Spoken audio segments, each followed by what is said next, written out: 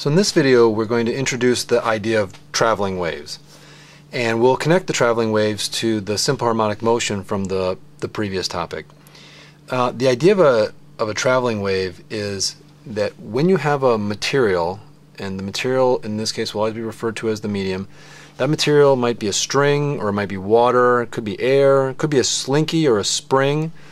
If any material that you have is disturbed that disturbance will begin to travel down the, the medium. It will travel along any path that it can along the, the medium. So a wave is a very intangible thing. It's, it's not the medium, it's not the string, it's not the slinky or the spring, it's not the water.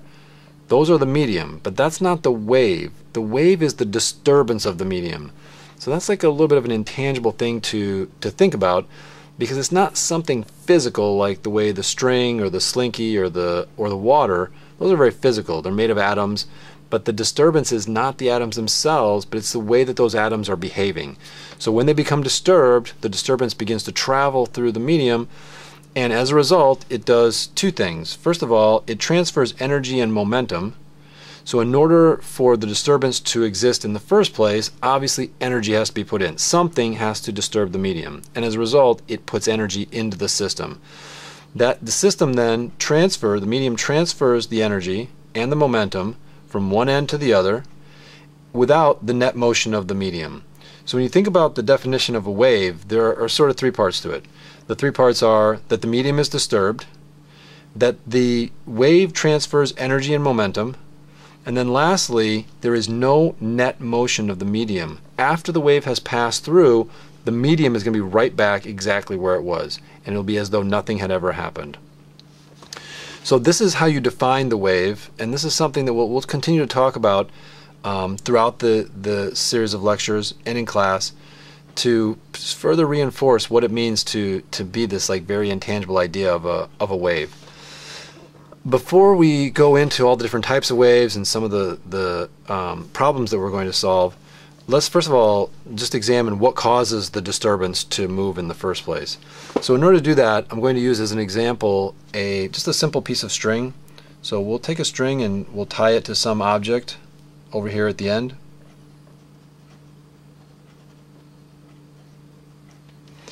And I am going to hold on to this end over here. So on this end over here I can move the string up and down and as a result that will disturb it. So this is the equilibrium position for the string. This is where it would naturally want to be if it was left alone. All the forces are balanced and so the net force is zero at this point. and what I'm going to do is I'm going to disturb the string and I'm going to do it by moving the string up and then I'll pull the string back down. I'll pull it up by a certain distance and I'll pull it right back to its original equilibrium position. So I'm going to apply a force here. In all these diagrams I'll be drawing forces and I'll always draw them as arrows but they won't be labeled. This is the only time I'm going to label it. I want to keep the diagrams clean and easy to, to understand. So anytime you see an arrow though, that arrow, unless it's labeled otherwise, that label represents a force. So as I pull up on the medium,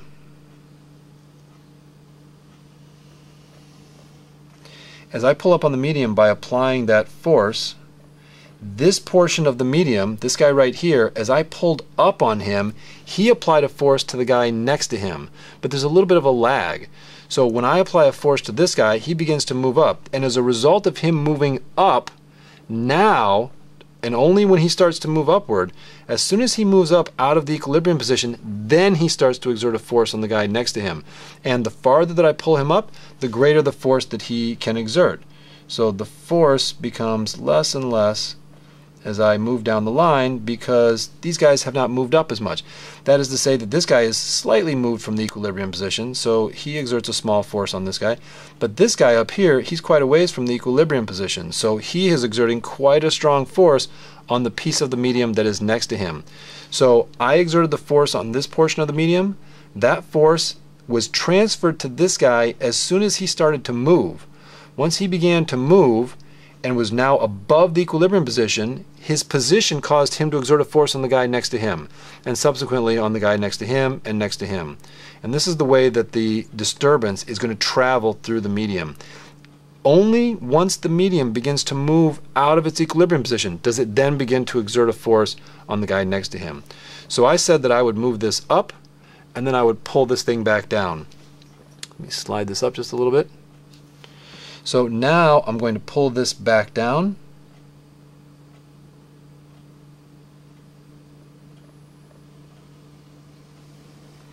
And as I pull back down, in the time while I'm pulling this back down, of course, the forces over here are continuing to exert force on the people to the right of them. As they exert that force on them, they begin to accelerate. They start from rest, so initially they don't move too fast, but as the force is applied for a longer period of time, this guy will feel the force for a long period of time. And as he feels that force, he begins to accelerate, and so he begins to pick up speed. He travels faster and faster. But of course, initially, he travels very, very slowly.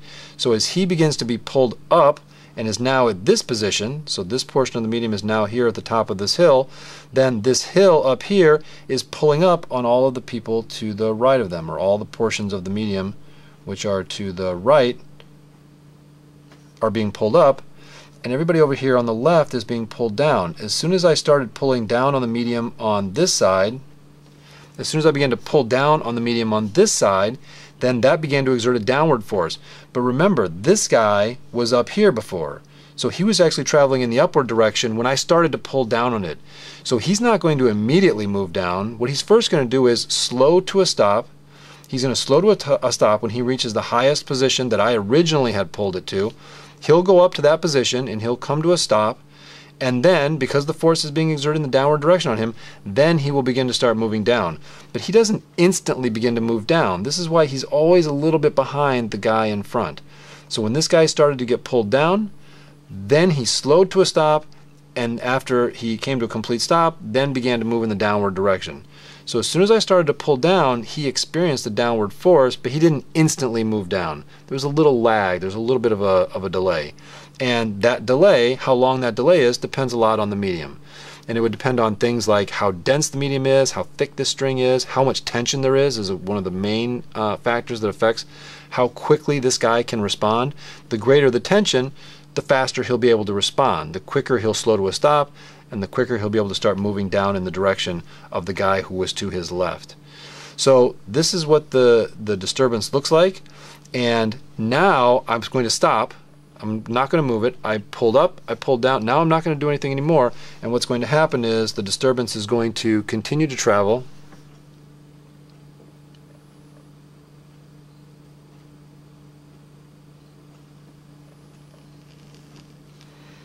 And the picture is going to look basically identical from here on out.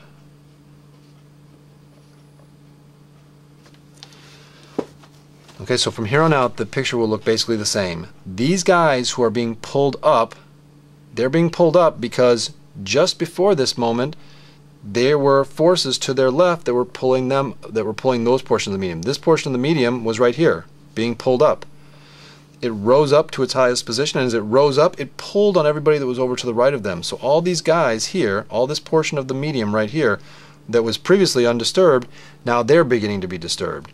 And of course, as the medium reaches its maximum height, then the medium begins to get pulled back down. And so as the medium begins to get pulled back down, as this portion begins to get pulled back down, it pulls everybody to his right back down. Eventually, these guys being pulled down will stop these guys from moving up and then they'll begin to move down also. And so this is how the wave is going to continue to travel, and in this case the wave's traveling to the right. So the wave looks basically the same from here on out. I do want to draw one more version of this, put him a little bit further down the line.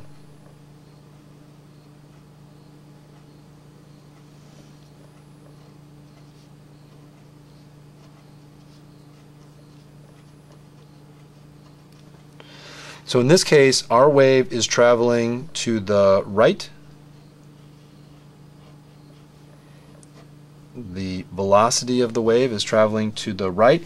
But if you look back over here at the original medium where I started the whole wave, the whole wave started on the, on the left side over here, there is no there is no net motion. The medium is exactly in the place where it was before the wave traveled through it and so this is an important aspect of wave motion is that the, the medium cannot go anywhere. The medium has to stay where it is. And what travels is not the medium, but the disturbance of the medium. That is what's going to travel to the right. And of course, you can think of this sort of as potential energy. There's tension in here. It's like elastic energy. I've pulled up this portion just like if I stretched out a rubber band.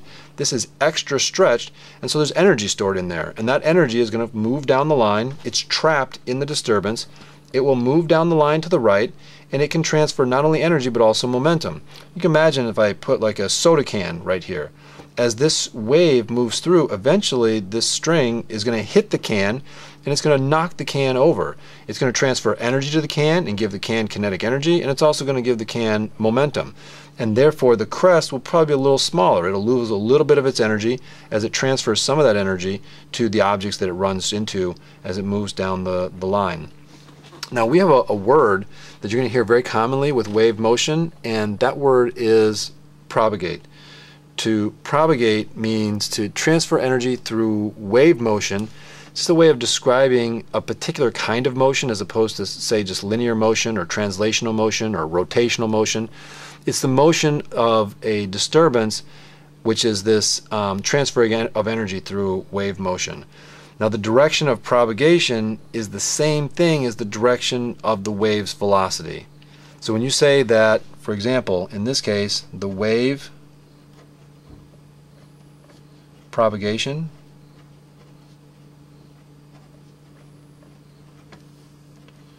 is to the right because that's the direction of the wave's velocity. Now, what's important about that is that also means that that is the direction that the energy is being transferred. Energy is being transferred to the right, and also momentum is being transferred to the right. So the direction of the wave propagation is the direction that the energy and also the momentum, but we'll probably focus a little more on the energy, is the direction in which the energy is being transferred as the disturbance moves through the through the wave. So this we'll leave that as this for the introductory video for traveling waves and in the next video we'll take a look at different types of waves. How can you produce these different types of disturbances and what are the names for those types of waves